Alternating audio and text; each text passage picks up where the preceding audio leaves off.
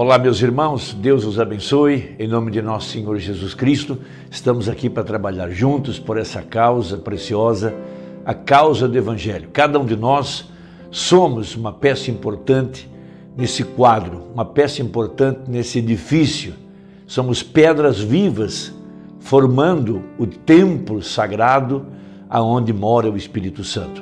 E nós estamos vendo os ventos de julgamento sobre a terra iguais os ventos de julgamento nos dias de Elias, logo após o povo ter rejeitado a palavra. Quando Elias levantou o, levantou o altar e colocou sobre o altar o sacrifício, ele desafiou os profetas de Baal.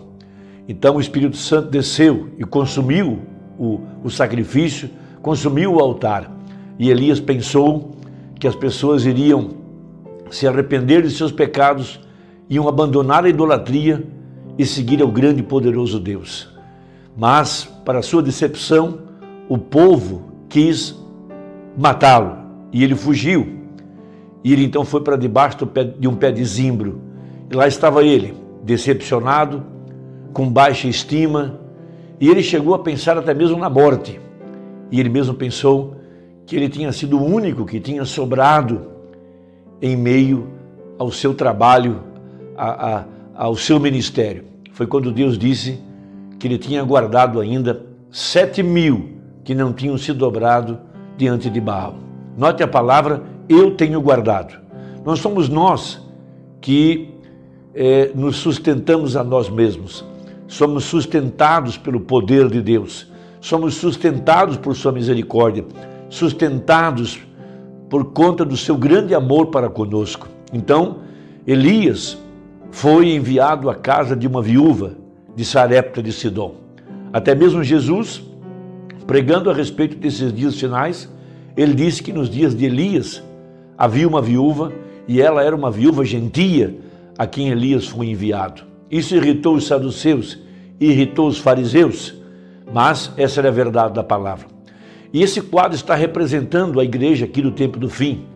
Veja, Elias depois de ter percorrido o mundo mais de sete vezes, pregado por 33 anos e meio, mostrado os sinais e as maravilhas do tempo do fim, profetizado, realizado milagres para provar que era o mesmo Jesus Cristo que estava operando em seu ministério como operou no passado.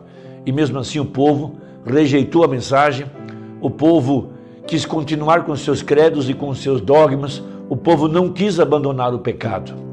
Essa é a condição em que nós estamos vivendo. É chamado na Bíblia de os dias da Odisseia, onde o povo está cego, miserável, pobre, nu e não sabe. É um povo morno. Eles estão, eles estão ao mesmo tempo dentro das denominações, mas ao mesmo tempo no mundo, com a política, com o mundanismo, com os negócios dessa vida, com os cuidados dessa vida. E a palavra não tem conseguido produzir os resultados que deveria ou para a qual ela foi predestinada até mesmo os ministros têm eh, se posicionado contrário à verdade da palavra. Então Deus se obrigou a enviar o julgamento, como foi nos dias daquela viúva. Era um tempo de seca, depressão econômica, pragas, pestes, mortandade. Veja, mas a viúva era a única predestinada para receber a mensagem do dia. Então o profeta pregou uma importante mensagem. Elias e a comida oferecida. Veja, alimento espiritual escondido dentro da casa da viúva, a farinha e o azeite. Veja, e ali estava um tipo da verdadeira igreja. Vamos ler em 1 Reis capítulo 17, a partir do versículo 8 para descobrirmos algumas coisas importantes. Veja, então veio a ele a palavra do Senhor dizendo: Levanta-te e vai a Sarepta, que é de Sidom, e habita ali. E eis que eu ordenei ali uma mulher viúva que te sustente. Veja, primeiro, ela foi levantada por Deus e ordenada para sustentar aquele ministério. Segundo, ela era viúva, seu primeiro marido havia morrido, um tipo da verdadeira igreja aqui no tempo do fim, em que o primeiro marido, a primeira natureza, Veja, as denominações, o sistema, tudo aquilo que o homem pode fazer, isso tudo tem morrido para essa verdadeira igreja. Veja, então ele se levantou e se foi a Sarepta, e chegando à porta da cidade, eis que estava ali uma mulher viúva achando lenha. Veja, e ela e ele a chamou e lhe disse: Traze-me, peço-te, num vaso um pouco de água que beba. E indo ela buscá-la, ele a chamou e lhe disse: Traze-me agora também um bocado de pão na tua mão. Veja, ela foi preparada, predestinada para ouvir a palavra profética da boca de Elias, sem questionar. Obediência total à palavra nos dá direito ao Espírito Santo. Porém, ela disse: Vive o Senhor teu Deus, que nenhum bolo tenho, senão somente um punhado de farinha numa panela e um pouco de azeite numa botija. E vês aqui, apanhei dois cavacos. Então ela tinha os três elementos importantes para nós aqui no tempo do fim, na continuidade dos dias do ministério do profeta Elias, o que veio depois. Então ela tinha farinha, um tipo de Jesus Cristo. Veja, farinha moída, toda igual. Veja, ele é o mesmo ontem e hoje eternamente. O azeite, o Espírito Santo. Veja, o trigo e o azeite, o mistério de Jesus Cristo. Mas ela foi apanhar dois cavacos. Veja, a, a, a maneira antiga de se fazer fogo era se estabelecer uma cruz. Então ali estava o mistério de Cristo. Veja, através do Calvário, através do sangue derramado, o sacrifício de bronze, aonde o sacrifício era imolado. Mas aqui estava agora a farinha e o azeite, a palavra e o Espírito Santo. Veja, sobre a cruz, veja, com, com o fogo poderoso do Espírito Santo, veja, misturando a farinha e o azeite. Veja, um tipo do pão que é usado na Santa Ceia, o pão asmo, azeite e trigo, sem água, desculpa, sem fermento, apenas azeite e o trigo. Para compor o pão sem fermento, sem mistura, sem pecado, sem hipocrisia. Veja, e vou prepará-lo para mim e para o meu filho, para que o comamos e morramos. E Elias lhe disse: Não temas. Vai, faze conforme a tua palavra. Porém, faze isso, disso primeiro para mim um bolo pequeno e traze-mo para fora. Depois farás para ti e para teu filho. Veja, buscai primeiro o reino de Deus e a sua justiça, e todas as coisas serão acrescentadas. Deus está constantemente nos provando para ver se nós o colocaremos em primeiro, em primeiro lugar, se ele terá preeminência em nossa vida. Veja, esta hora, o Espírito Santo Cristo está buscando uma verdadeira igreja, pronta para renunciar a tudo, sacrificar a si mesma e ser obediente à palavra. A palavra e o Espírito. Veja, sobre a cruz, esse é o poder que está transformando a verdadeira igreja, o poder da palavra. Veja, a palavra e o Espírito, a farinha e o azeite, sobre a cruz. Veja, o sangue derramado porque é impossível entrar por aquelas portas sem sangue. Somos aperfeiçoados pelo sangue de Jesus Cristo. Vejam, porque assim diz o Senhor Deus de Israel: a farinha da panela não se acabará, e o azeite da botija não faltará até o dia em que o Senhor dê chuva sobre a terra. Veja, havia um julgamento.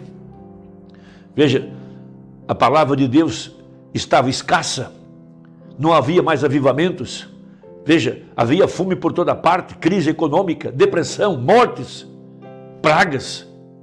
Mas na casa da viúva, que colocou a palavra em primeiro lugar, que deu lugar ao ministério profético de Elias. Veja, uma viúva preparada, levantada por Deus, ordenada para receber o mensageiro do dia. Dentro dele estava o Espírito Santo, dentro dele estava Jesus Cristo, ali estava a palavra feita carne. Veja, ela o reconheceu, ela pôde romper o véu e ela foi atrás daquelas peles e pôde ver que ali estava o poderoso Deus. Então veja, e foi ela e, foi, e fez conforme a palavra de Elias, e assim comeu ela. O melhor, verso 14, perdoe, porque assim diz o Senhor Deus de Israel: a farinha da panela não se acabará, e o azeite da botija não faltará, até o dia em que o Senhor dê chuva sobre a terra. E foi ela e fez conforme a palavra de Elias, e assim comeu ela e ele e a sua casa muitos dias. Da panela, a farinha se não acabou, da botija, o azeite não faltou, conforme a palavra do Senhor, que falara pelo ministério de Elias. Veja, essa é a verdadeira igreja desse dia, essa, esse é o ministério. Agora, uma mulher, veja, dando lugar à palavra, obedecendo a palavra, obedecendo a voz de Deus, misturando a palavra e a, a farinha e o azeite sobre a cruz, numa renúncia total. Veja, é, é, é, numa vida totalmente rendida à verdade da palavra. Então o profeta prega essa mensagem, Elias e a comida oferecida. Isso é algo muito, muito poderoso para esta hora em que nós estamos vivendo. Veja, ali estava o vento quente do julgamento estava soprando sobre uma nação que tinha esquecido Deus. Verso 27. Foi durante o reinado de Acabe, o mais cruel e perverso rei de Israel, e ele tinha se casado com uma ímpia, Jezabel, que era uma idólatra. Então era um tempo em que a política e a igreja, o Estado e a igreja estavam casados e a idolatria tinha entrado para dentro da nação. Veja, e um casamento misto como ela, como este, nunca é bem sucedido. Não pode ser ou a mulher se torna para o lado do marido, ou o homem irá para o lado da mulher. E ela era uma mulher muito atraente. E Acabe, tipo de um crente morno, tinha aderido às suas ideias e disse: Oh, bem, a religião não é nada para mim, eu sou um rei. E tinha destruído os altares de Deus e colocado os altares de Balaim, ou melhor, Baal. E o clamor tinha sido tanto contra a verdadeira religião, até o ponto em que os ministros, sob a grande pressão, haviam se rendido. Veja, um tipo da era em que nós estamos vivendo, debaixo do julgamento, aonde as, as pessoas estão se, se curvando, se rendendo ao mundanismo, se rendendo à política dentro da igreja. Veja, então disse o profeta, e assim tinham os ministros caídos sob o impacto do rei, porque o pecado era permitido, não havia limites. E é um retrato muito bom de hoje em dia, porque a nação tinha aprovado essas coisas e as pessoas queriam ser populares e eles pensavam: já que a nação diz assim, está tudo certo. É a maneira que eles dizem hoje. Já que a nação diz que é certo vender cerveja, então está certo bebê-la.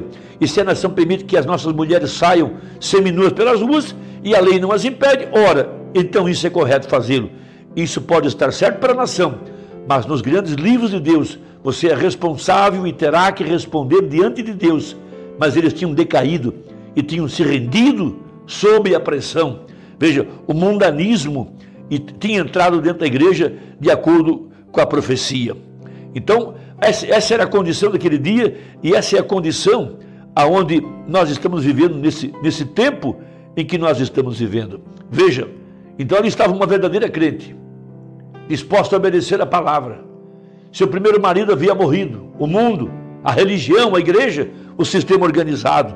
E veja, ela estava num tempo de prova para ver se ela ficaria com a palavra ou não. Veja, 48. Deus testa cada filho de Abraão como ele fez com Abraão, porque nós somos sementes de Abraão, estando mortos em Cristo. Nós somos sementes de Abraão e somos herdeiros de acordo com a promessa, a semente de Abraão. Esse é o espírito que Abraão tinha. Ele tinha a promessa dada.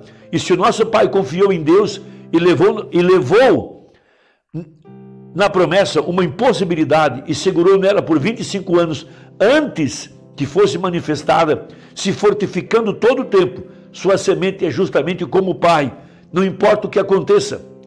Quando nós recebemos oração, está acabado. Quando tiramos tudo do caminho e cumprimos todos os requisitos, tiramos tudo do caminho, então pedimos a Deus e ficamos aí sabendo que temos de recebê-lo.